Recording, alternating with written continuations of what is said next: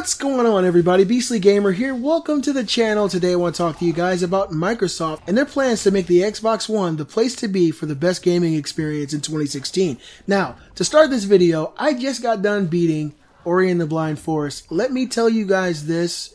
I've had very few experiences, if any, on the PlayStation 4, which were just as touching and as moving as the experience I had in Ori and the Blind Forest. Yeah, it might have had some situations where the story needed to be fleshed out a little bit more, but the overall atmosphere and the way the game played, the way the game felt was totally amazing. Ori and the Blind Forest is my favorite game in the Xbox One, bar none.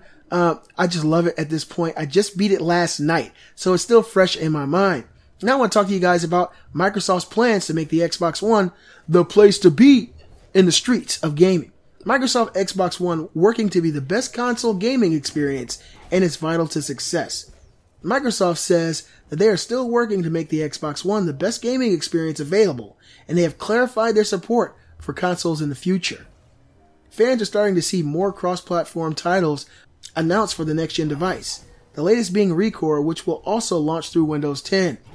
2015 saw the release of several major Microsoft updates for Xbox One, including backwards compatibility, Windows 10, and a general overhaul of key features such as party chat and UI layout. This has all gone toward creating a better console experience for fans, something Xbox chief Phil Spencer says will continue. Replying to fans on Twitter, Spencer wrote, quote, console is critical to our success now and in the future. We will work to make Xbox One the best console gaming experience we can make to justify purchase. The team is committed, end quote. Using the example of Ark Survival Evolved, a more traditional PC title currently being played in the Xbox preview program, Spencer spoke on the cross-play ability and how it can benefit both gamers and developers. Quote, I think it's just additive.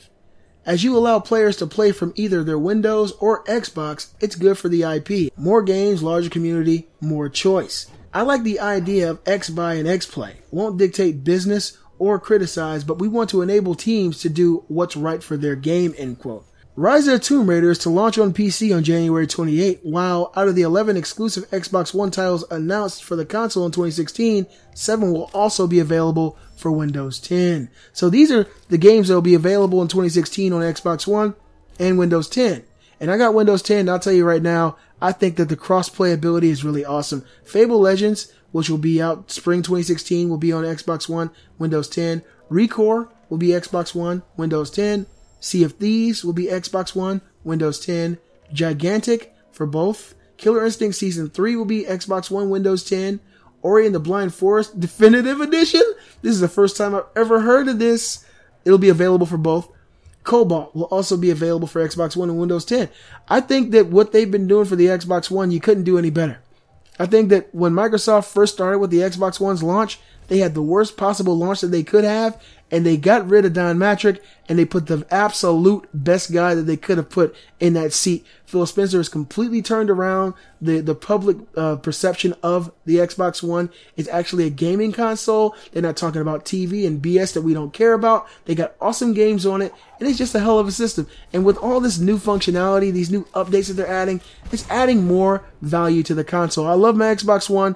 I love it even more now than I did before after completing Ori and the Blind Forest, one of my favorite games of the year. You guys let me know what you think about Xbox. Do you have one? Do you enjoy gaming on it? Let me know in the comment section below. Be sure to give a thumbs up and show support for the Beastly Gamer channel and definitely subscribe. I'm the Beastly Gamer and I'll see you guys next time.